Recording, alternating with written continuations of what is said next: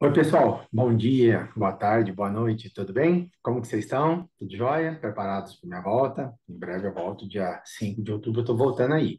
E o que eu vim aqui falar para vocês é sobre o dia 5 de outubro.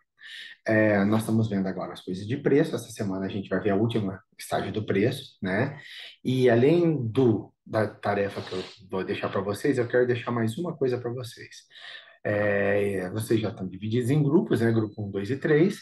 E como eu não sei se vocês sabem, a partir de agora, teoricamente, é claro, eu sou um, eu vou montar uma loja, vou vender queijos e eu quero que dia 5 de outubro, vai ser uma quarta-feira, que nós vamos ficar lá manhã e tarde, já ó, tarde toda, já estou avisando para vocês, tá? Nós devemos sair às 4 horas da tarde, não às, às duas e meia, então vocês já preparam.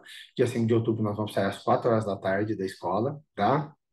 É, eu vou, já estou passando para vocês o trabalho, eu quero que vocês peguem para mim e, grupo 1, eu quero que vocês me deem um preço de mercado competitivo para vender queijo Minas Frescal.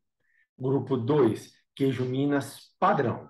E grupo 3, eu quero vender mussarela, tá? Então eu quero que vocês vão chegar para mim e vão falar, ó, um preço competitivo de mercado é esse. Lembra o seguinte, é, eu vou produzir o queijo e vou vender. Então, é, não só sou vendedor, eu sou um laticínio. Então, vou produzir o queijo e vou vender.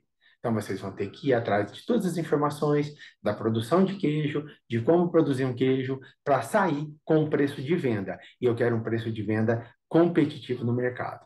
Tá bom? Então, vocês vão atrás, vão apresentar para mim na, no dia 5, tá bom? Não se esqueçam. Preço de venda de queijo. Minas Frescal, Minas Padrão, mussarela. Tá bom? Grupos 1, 2 e 3. Bom trabalho para vocês. Até o dia 5. Tchau.